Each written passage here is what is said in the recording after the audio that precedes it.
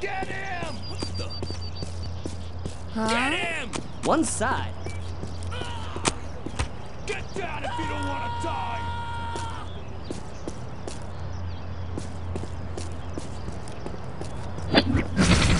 Do you suppose this is covered by the Second Amendment? Oh no, I am not seeing that. That's. Get